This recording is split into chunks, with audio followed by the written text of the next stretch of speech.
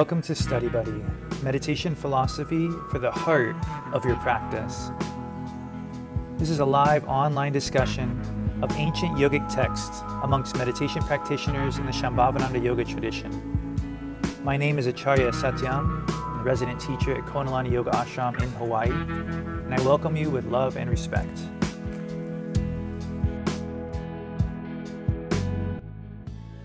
Namaste. Okay, so we've got um, two focal points for today. One, life is but a dream. That was our previous drishti, our focal point. And the second one is we're going to explore time. Just looking around to see if anybody's eyebrows lifted on that one. No, just Bob's. Okay, cool. Yes, we're going to explore space and time on our next sutra. So it should be a lot of fun. So let's recap here uh, and figure out where we left off. Open the door for some conversation, a little bit journaling. Nana Devi, all right, made it. So let's start with pronouncing this um, sutra. Tada, Rudha, Pramite, Stakshaya, Jiva, Samkshaya. Tada, Rudha, Pramite, Stakshaya, Jiva, Samshaya. So this sutra talks about desire vanishes in the fortunate person whose consciousness has become established in their true nature. For them, the state of limitation has ended. And one way that we explore this that was given to us by the sutra, sort of a really helpful focal point, was this idea that um, we sort of go through something like this every day when we wake up, or if you have a dream and you wake up from it. You're dreaming, you wake up, it's gone. That whole world is gone. And it makes you realize okay, so there's this perspective I can have of my life that is not so bound up in the objective, quote unquote, objective reality that I see before me every day I wake up from a dream and I prove to myself that that's that this reality can't be understood from just the outside. And so as a thought experiment we said, well watch, watch in your own reality. Imagine for just a moment that you're in a dream right now. You're not going to try to fly, you're not going to try to wake up. You're just going to observe, you're just going to play the part of I am in this rare moment when I'm realizing I'm in a dream. It's very rare, right? To have that realization. And you're going to try to hold on to that because we know how easy it is to slip into this thought or that thought. The dream morphs constantly. And so you just keep holding on to, I'm in a dream. I'm not pushing it away. I'm not pulling it in. I'm just holding on to this awareness. And then you feel with that, where does that take you? Suddenly your surroundings, you have a little bit of separation. There's a sense of witnessing your space. You might even see the peripheral vision around the edges instead of being sucked into the objects in front. And when you sustain that kind of awareness, it's a very unique experience. And what's interesting, what the sutra sort of points us towards, is that you actually feel a connection you feel a connection to everything around you. Not in the usual sense, outwardly, but you feel like, yes, I can see how everything around me right now is relative to my being, relative to my viewpoint. I can see that my reality might be my own making, just like it is every night in our dreams. So let's take the next two minutes to sustain that inward focus, but allow ourselves to participate in the external world through a little bit of writing. It's a really good exercise to try to have both, right? Shambhavi Mudra, inward focus and outward awareness, which in this case is writing. So, um, literally just take a couple minutes to feel and reflect on this experience for you or on the experience you've been working with over the last week.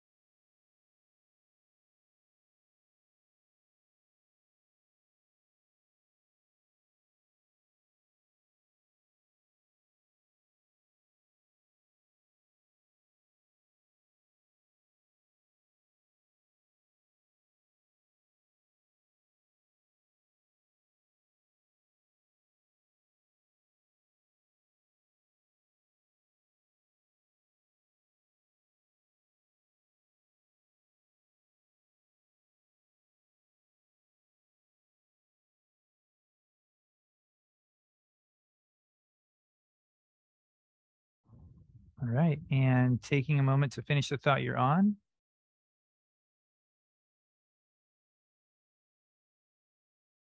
Scan through what you wrote. Appreciate what you just did.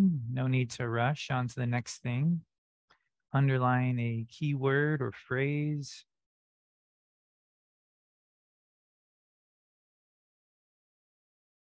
And we'll just drop those in the chat box. Um, and you know we don't have to wait for all the words to come in to start sharing. If anyone feels like they're gonna want to share please by all means go ahead and unmute. Go ahead bob. And yeah I look forward to seeing everybody else's words when you have time. All right. Um, since i just woke up from a nap mm. yes that happens when you get older. Um, i went from sleep to awake. And then you sit here and say go from your awareness of your body to awareness of something much deeper. And then I felt that was very much like going from sleep to awake. And as a result, I went from kind of a dull stupor to laughter. In in the very moment of your of you're telling me oh, of me going from oh here I am sitting in front of my computer to then oh yeah I do feel that joy inside my heart. It was and it was just like that was so much fun. I was like I just had to start chuckling. Wow. Thank you. Nice. Thanks Bob. Yeah absolutely. I mean it's like this metaphysical stuff is not supposed to land us in our heads, right? It's supposed to land us in a direct experience of something that's happening within us. So thank you for reminding us of that, sharing that experience. That is the sign of a yogi is joy, uh, joy-filled wonder. That's what the sutras say. So that's good. Yeah. I see some keywords: process, surrender. You want to read one? Ground up, ground up or is it from the ground up? Uh, and Mindscape. Anyone else want to jump in and, and elaborate or share?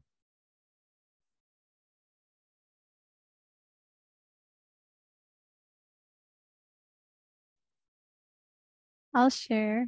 Okay, yeah. Um, one sec, I can zoom out. There you go. Can you Hi. hear her okay? Can you hear me? I've got the bad mic today. okay. Okay, great.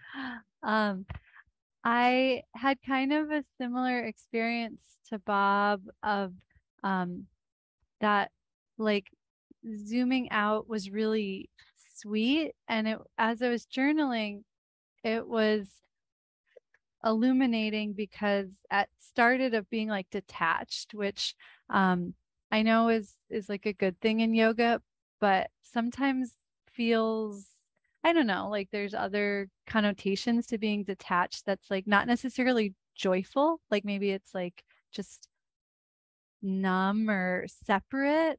And so it was really fun for me to experience how detachment was really spacious. Mm. And um, like Bob shared, like that detachment helped me feel like something so much bigger. So it wasn't isolating. It was like mm. through detachment, I felt like even more connected. Very nice. I I have I had the same experience. You know, it mm-hmm. when you, you can sort of see the room around you, you actually feel the whole space that you're in instead of feeling like you're this little thing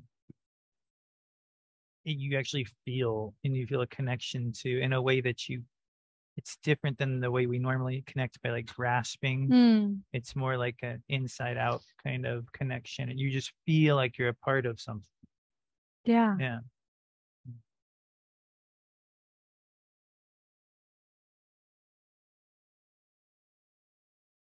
Yeah, I guess detachment is what helps the raindrop merge with the ocean.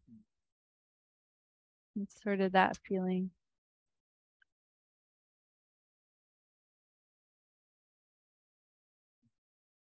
Very nice. Thank you. That actually helps.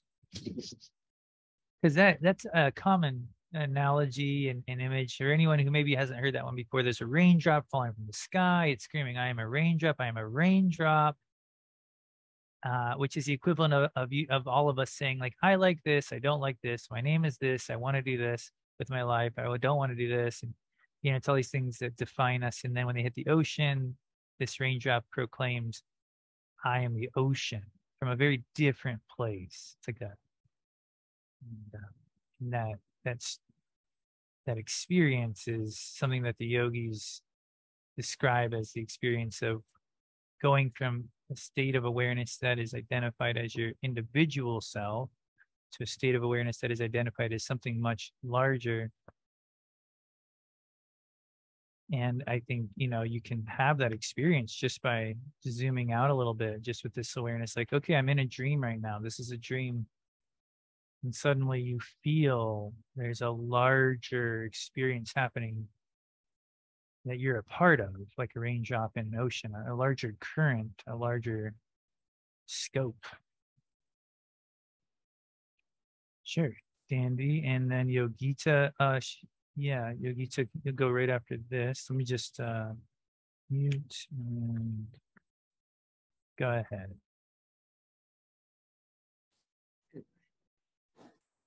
Okay. Um?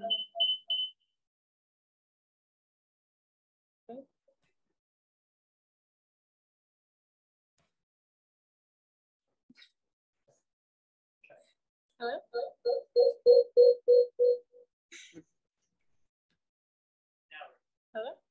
Okay.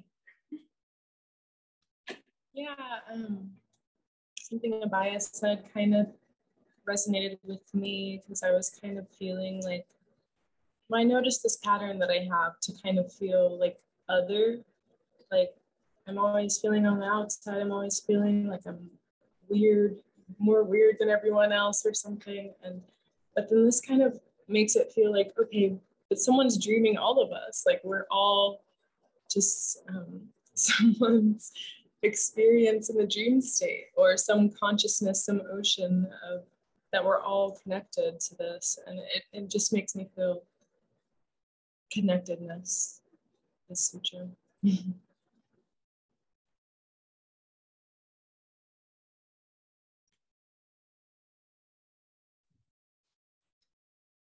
Thanks, Dandy. Yeah, and especially, you know, I think that's the dynamism we're seeking is that someone that's having this dream of all of us is you too, but it's not the you that you might associate with as dandy, but rather, but is available through your personal experience if we are willing to surrender.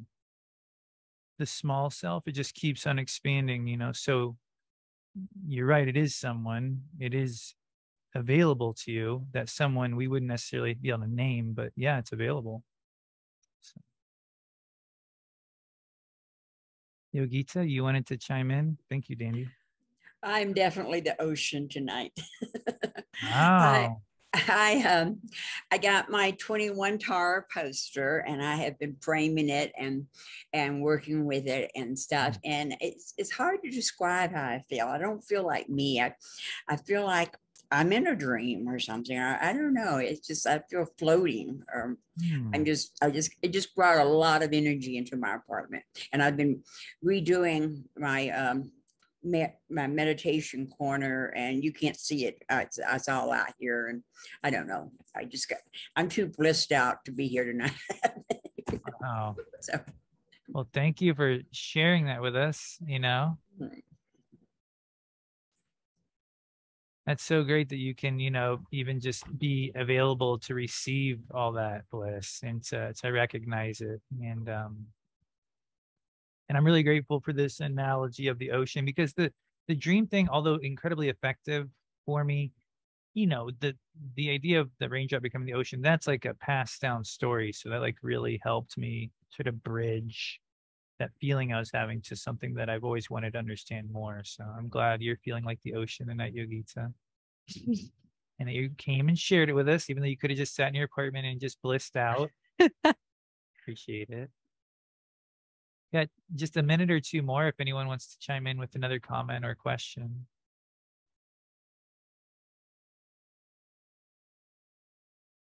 Sure, Anju. I'm having more of a raindrop week. All right. That's all right.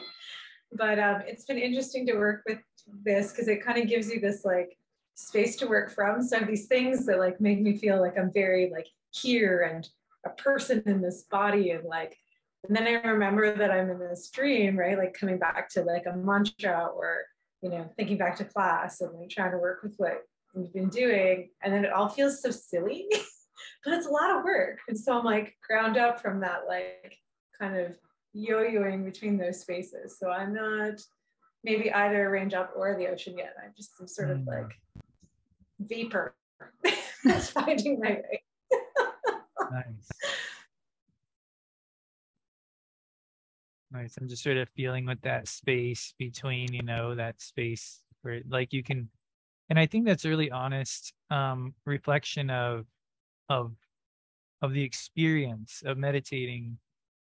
You know, and I think that's the part of the conversation that in our school we talk about a lot because we really do meditate and it commonly gets overlooked in like magazine level discussions of meditation you know it's that space of being in between those two states to basically just keep redirecting yourself in a certain direction and and not always having the um comforts of of this like uh, achievement or landmark you know? Um i remember yogita maybe a month ago.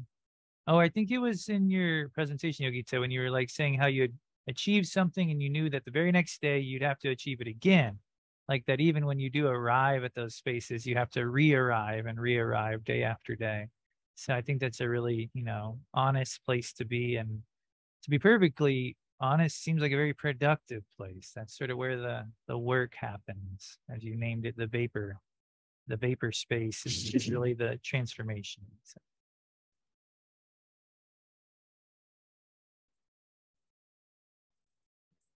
Yeah, I was just sitting here thinking, I, how I could hang on to this. And, and you know, I mean, this this morning I felt terrible, and it it just I don't know. How do you mm. hang on to it? You just. I mean, from what I can tell from Babaji's, you know, answers to that very common question, you know, I think it's in the moment of that thought, surrendering that very thought is to me the first step to hanging on to it because it's that's that thought. How do I hang on to it is the is the beginning of of of when it starts to contract, you know. So it's yeah.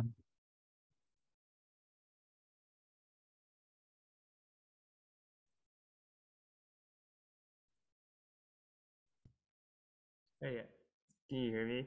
Hey, yeah, Tashi, I heard you're back there. Yeah, so yeah. I just switched cameras. And cool. So I um, think this has really been enjoying this sutra and some of the implications of imagining you're in a dream. Um, I find that it just opens up so many more possibilities, right? Like you could fly or you could do whatever you want, but what what I think, you know, I I want to strengthen is uh, my practice and sort of like the ability to surrender and um, you know visualization within practices that I'm doing. And I find that if I imagine that I'm in a dream, visualization is just like there. It's just like there it is. You know, innumerable sentient beings. Boom, there they are in a dream. Uh, so the value I I feel for this, uh, for me, has been that it's really empowered my uh, visualization and idea that I can just like dive in and do something mm-hmm. as opposed to like, oh, I'm, you know, in reality, it's just like, okay, I'm just in this room and that's kind of imaginary. Mm-hmm. Um, but in a dream, it's like, here it is, it's, it's here. Mm. Thanks, Tashi. Just sort of absorbing, especially that last sort of moment. Yeah, maybe all be able to hang on to that last aspiring comment. You know, here it is, it's here. It feels like there are these qualities of of being in a dream when you can almost feel like how subtle like babaji says it's like a soap bubble how that that awareness is so subtle and so i wouldn't call it fragile but it's just it requires so much surrender to hold like the soap bubble bubble has to land on you you know and you just can prepare to receive it as the sutras say you know and and it feels like that's this uh, detachment that this thought experiment mm, sort of puts in our lap for a moment is here it is you know it's like okay here it is like if you want to go in that direction then you you know like you got to recognize what direction that is it's definitely not a grasping one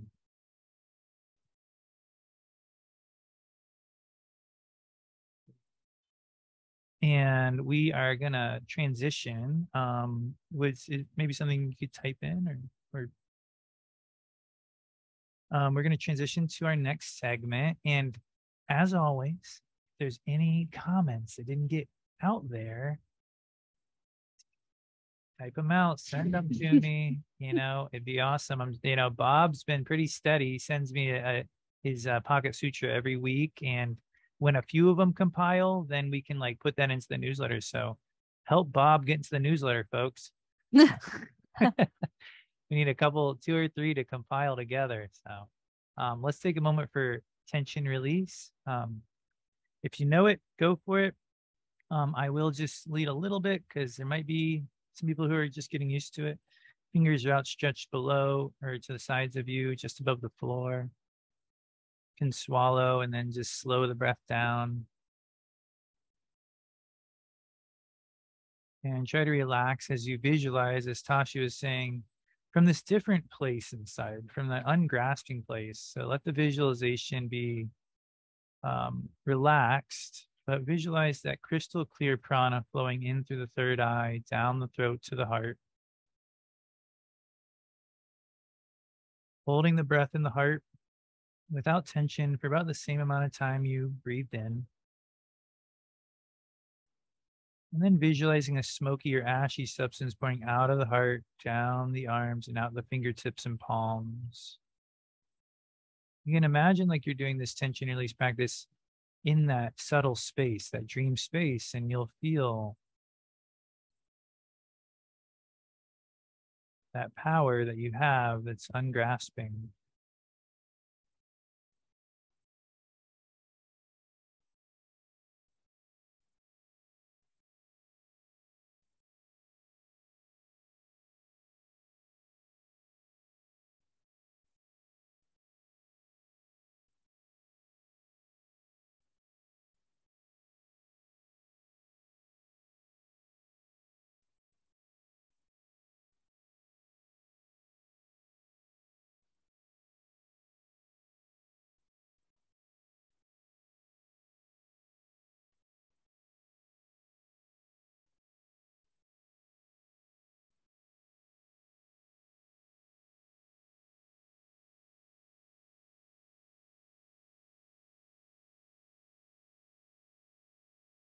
After that last exhale, just let everything empty out. Flicking off fingertips, wiping off arms.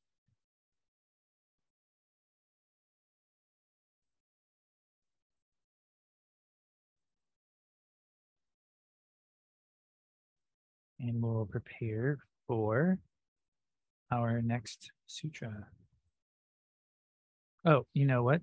The next sutra is the same sutra. doing the last half of the same one. So it's the same Sanskrit.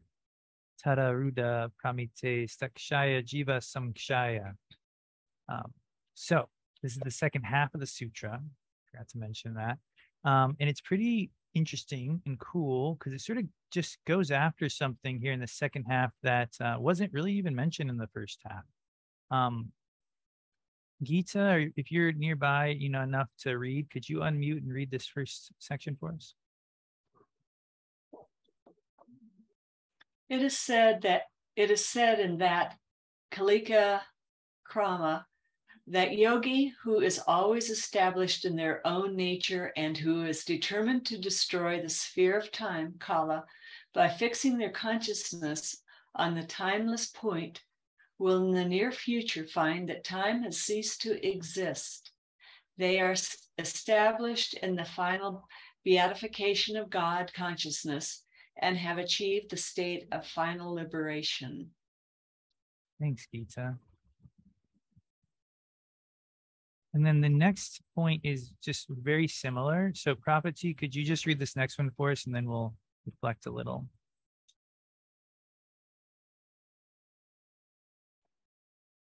Swami Lakshmanjoo comments When your consciousness is resolute in finding the timeless point, then you are said to be okay.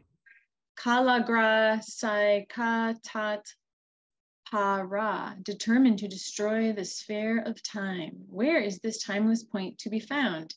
It is found between two breaths, between one step and another step, between one word and another word. Thanks, Prabhuji. All right, so reviewing here. So the yogi who is established inwardly destroys the sphere of time by fixing their consciousness on a timeless, on the timeless point. And I thought this was interesting. In the near future, so interesting to add that in, will will come to realize or come to see that time has ceased to exist.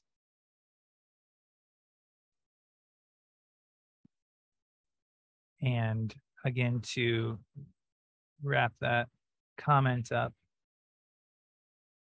that this timeless point is found between breaths, between steps, metaphorically speaking, you know, between our movements and even between our thoughts, between our words, etc. Yeah, we have a question comment here, Abaya. Okay, question comment. Um, I had an experience today that I wanted to share because it had to do with time. Um, this morning, I was doing pujas and Dandy is learning the puja. So she was sitting next to me and we were doing it together.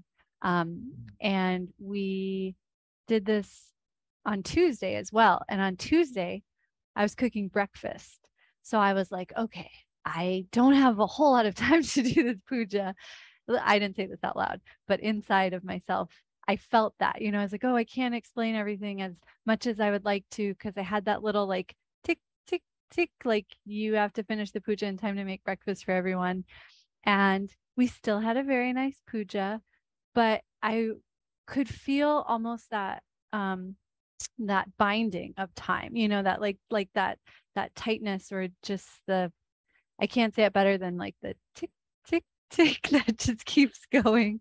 Um, and then today, um, Satyam was making breakfast. So I was like, I got all the time in the world. And um, I felt so relaxed inside, and I explained everything in like how I wanted to because I felt so spacious. And we finished the puja quicker, like not on purpose, but it was just this like um, mind bending experience of how my my mind totally changed based on whether I felt like I had enough time or not. I'll leave it at that. Mm. Um, did it feel more spacious to you, Dandy? She was in the same time warp as me, so that's cool. Dandy said it was longer, but it was shorter. How does that work? Raise your hand if you feel that what she was talking about. Have you had that experience yourself? Curious. Yeah. Yeah.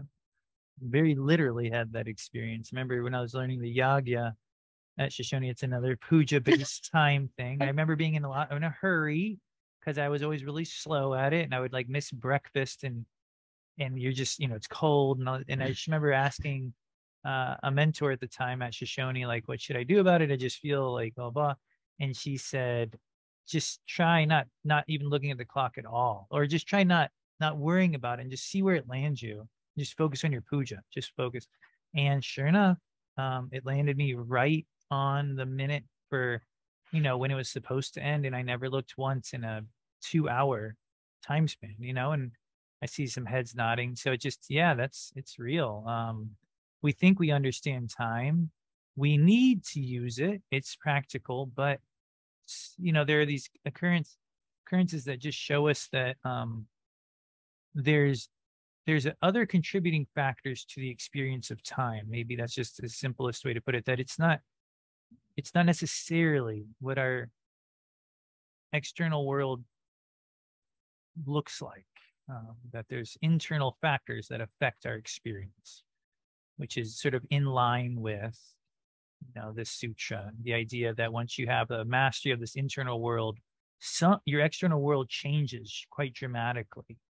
And in this particular moment in the sutra if i go back to the text um,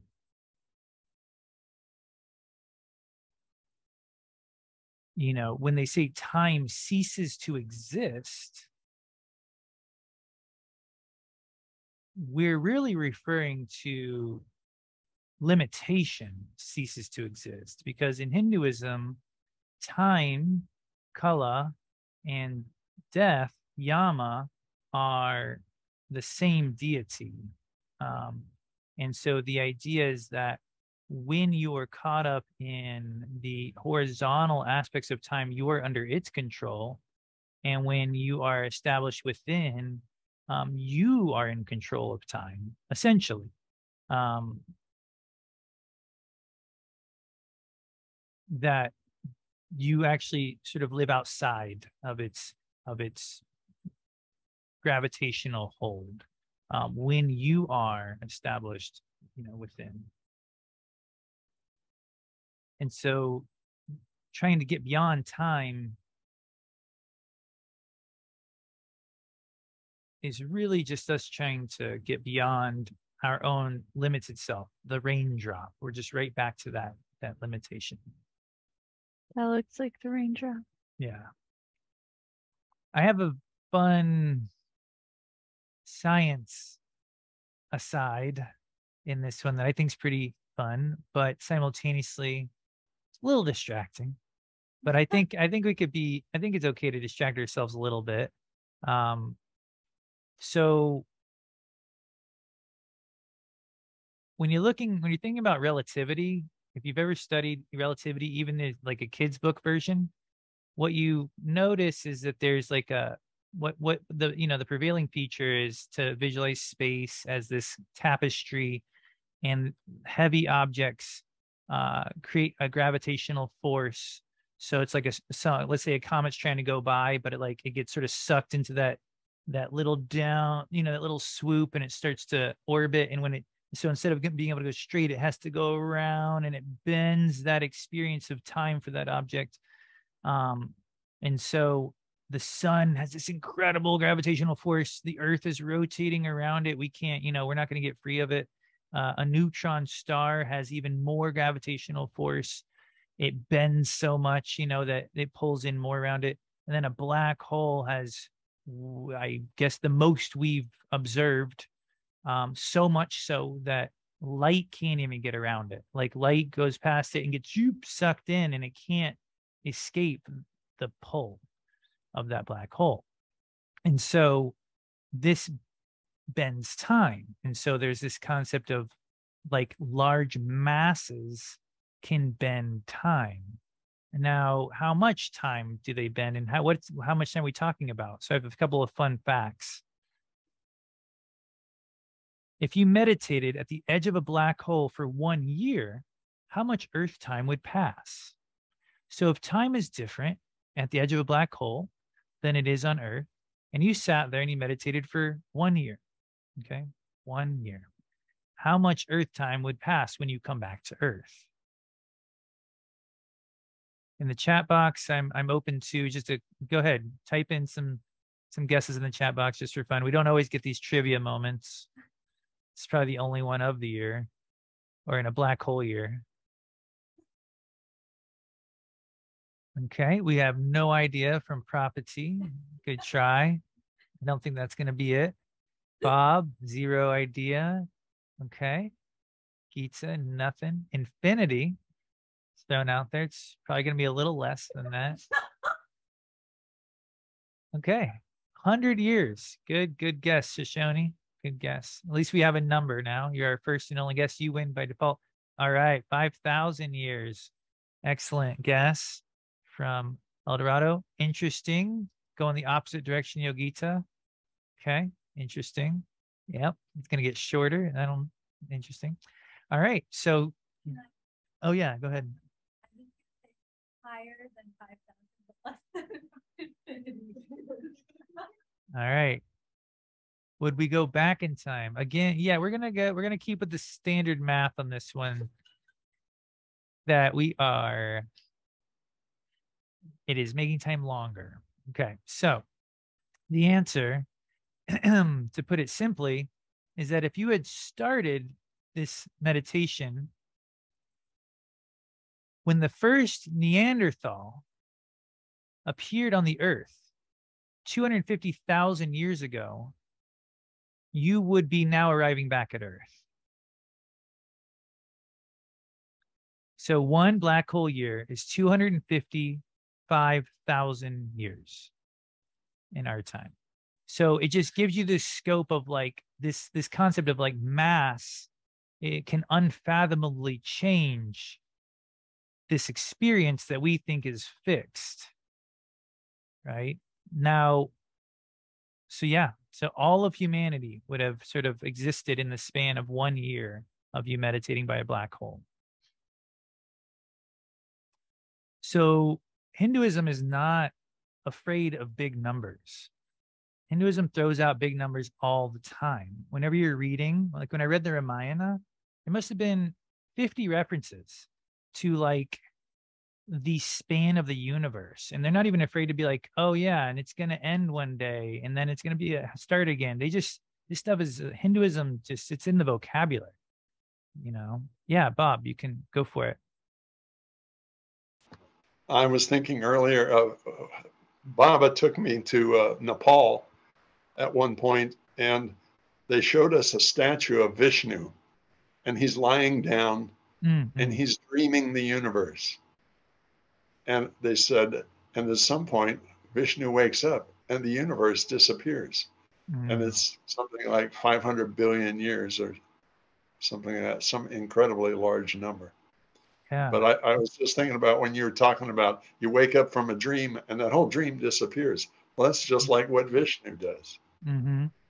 Yeah, that's what I mean. Hinduism is just not afraid of throwing out big numbers and also letting things just completely evaporate and and really just like they're not afraid of these bigger cycles you know because we're really not limited by those cycles if we do our practice you know like we, there isn't a, you can escape this gravitational pull of time you know you can escape samsara you know simply by going inside to destroy this sphere. It's even described as a sphere of time which you know that you know that black hole and the sun and the neutron star these are all you know that's the same concept this sphere that bends time. So let's just talk about real quick before we meditate hinduism describing something similar to this where they um, in hinduism the lifespan of brahma is considered 100 brahma years which is known as a mahakalpa or a parardha how much time would pass if you meditate, meditated next to brahma for one year. So when we talk about a black hole, we're like, wow, that's a that's the biggest object in our plane. We don't, that's it. That's all, that's the biggest we got. And wow, one year, 250,000 years. That's unfathomable. Oh my God. And then it's like, okay, well, Hinduism's talking about their, you know, the deity of of creation associated with creating Brahma. 100 Brahma years. Okay. So um, if you meditate next to Brahma for one year, how much Earth time would pass? Oh, cool. We have a guess from Shoshone.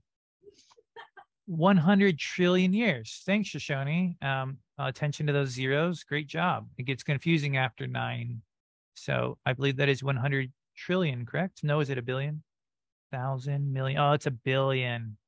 100 billion years. Sorry. Yeah yeah really well it's it just FYI, the difference between a billion and a trillion is like the difference between, you know, the drops of water in a in a five gallon bucket and the drops of water in an Olympic sized swimming pool. So billion to trillion is like a huge leap. Um, so um any other guesses? 100 billion's not going to cut it. Okay, here we go. You meditate next to Brahma for one year. You come back to Earth. There, there's no Earth, by the way, when you come back. 311.08 trillion Earth years. Um, 23 times the entire lifespan of our universe. Okay, so that the idea here is that the numbers are unfathomable, but that Hinduism in our practice, we're talking about like the big experience. We're talking about we're talking about going beyond the horizontal. And I think they're not afraid to go big on the horizontal because that's not where we end. You know, we're not afraid of of these concepts uh, because that's not where we exist. Um, so I want to end with a quote from Babaji that is going to, uh, oh, it's a little bit longer than I was anticipating. I'm sorry, because I, I think we're cutting into a meditation, but I just want to read this very beginning part. The better we become at the spiritual side of our lives, the more the world flows for us, less anxiety, pressure, and doership. And he says, I have found over the years that being in the present is a very positive way to live. And he says later, live in the present and you can begin to move beyond your worries and fears so what destroys what it what is the one thing bigger than a brahma year? What's the one thing bigger than a black hole year you know? The present. The present is the biggest sphere there is you know and it bends time infinitely. Nothing can escape it you know? So if we can identify with the present we can actually go beyond this limited experience. So all those numbers were fun. I said they'd be a little distracting. That was sort of our one distraction that we get in this class for the year. So i hope you enjoyed it. But the idea was that the present is the biggest sphere of them all. Nothing will bend time more.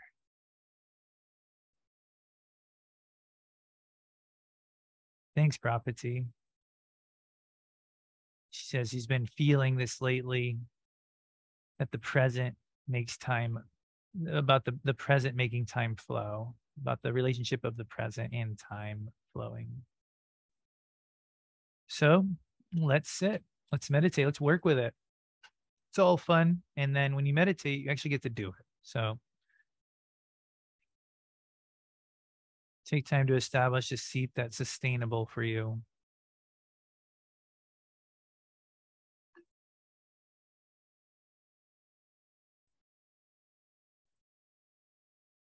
Twenty-three times the span of our universe. One year. Yeah.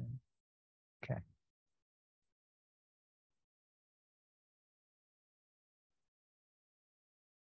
All right, so we are in the present right now, but are we?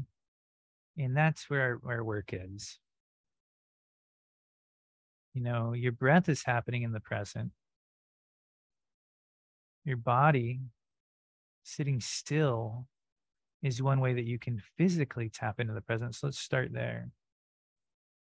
Swallow, gently lengthen and sort of try to float the spine, the head over the shoulders, shoulders over the hips.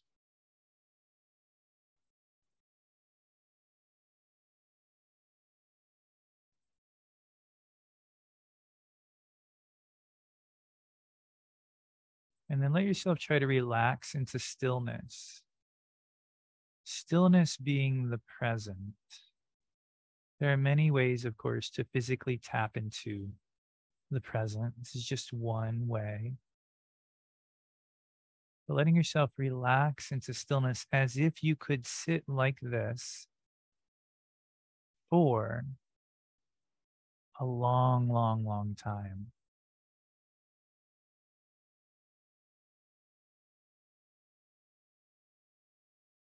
So when you have to move, that's okay. Move a little and then settle in for a long time. Don't be afraid of time. Because if you can actually sit in such a way that you can be still for a long time, you go beyond time. You will feel buoyant. You will feel light. You won't feel limited. So sit like you would be sitting for a long time.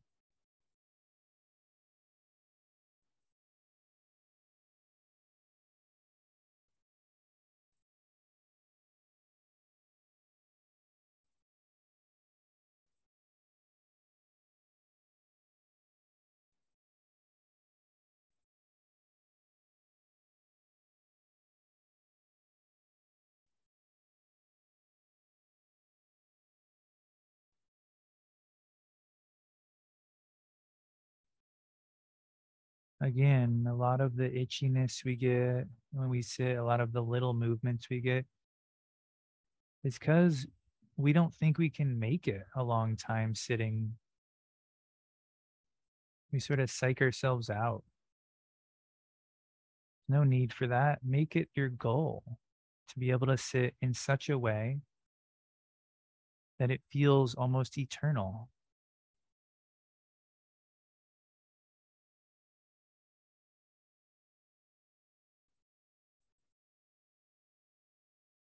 And feel the joy in that.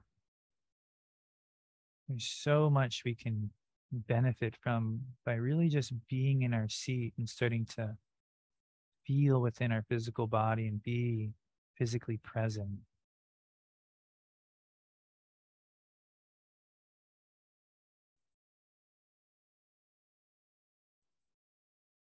Because when you actually relax the body while maintaining awareness. The body is blissful.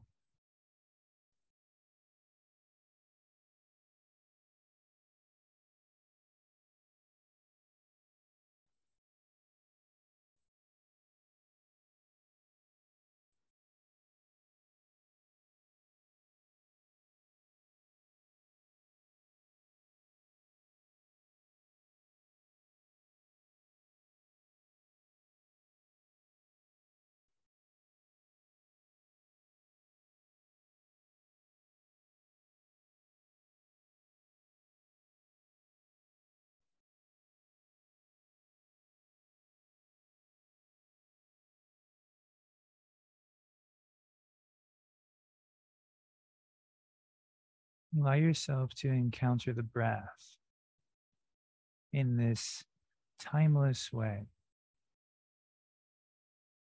As the Guru Gita says, long and windy pranayamas can actually be distressing. It's better to just attain the natural state. Nothing against pranayama at all, of course, but just to say that the natural breath is one of the rarest pranayamas of them all. To be able to watch your breath and to let your breath move as if you could breathe like this for an entire day without needing more breath, without over breathing.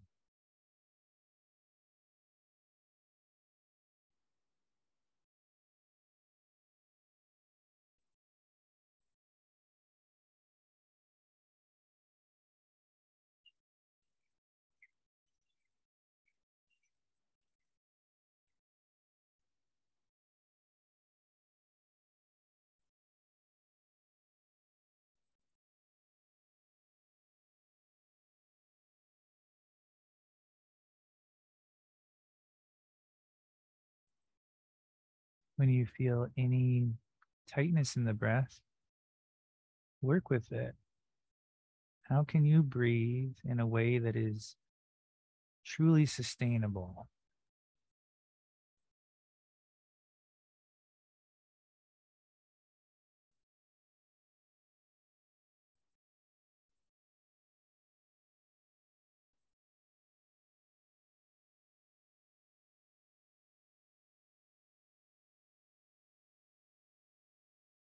As we move within the koshas, it's like we're moving to different densities of our being.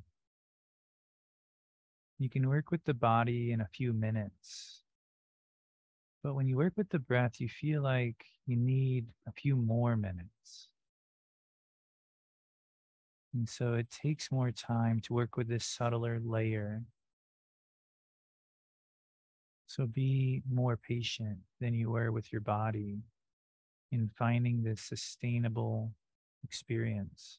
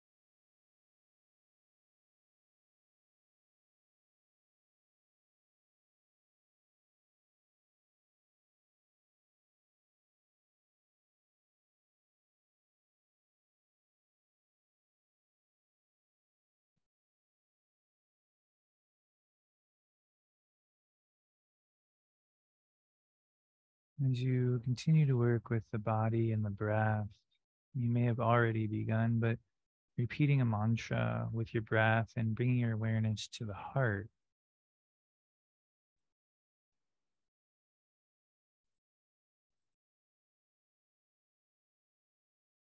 And you encounter the mind. And so, if the body's like the sun, the breath is like the neutron star, then the mind usually has the weight you know, of of that black hole. It has that density. It's hard for things to escape it. But we can. Working with the mind is even more subtle than the breath. You have to be even lighter with your touch and yet more aware simultaneously. So bringing your mantra to your breath flow is the beginning. Repeating that mantra from the heart represents the trajectory of your work.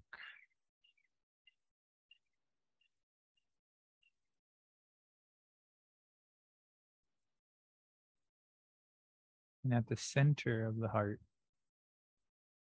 at the center of the black hole, at the center of your awareness in science is the singularity, the single point. So let yourself work for these last five minutes with your body, breath, and mantra towards this singularity in the heart, single pointed awareness.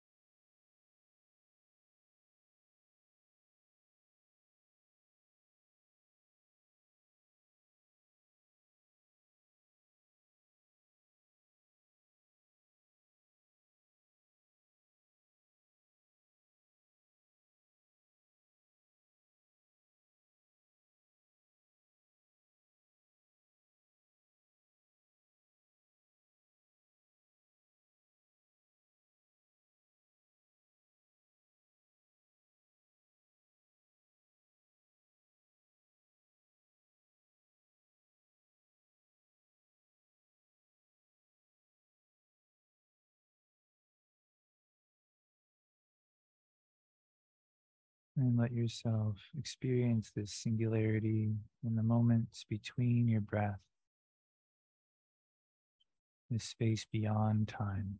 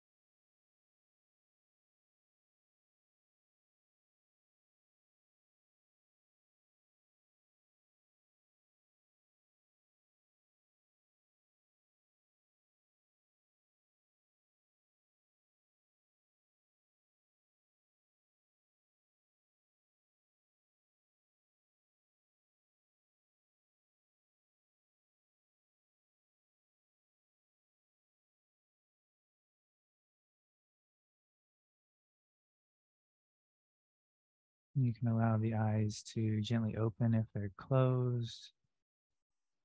Invite some subtle movement to your spine.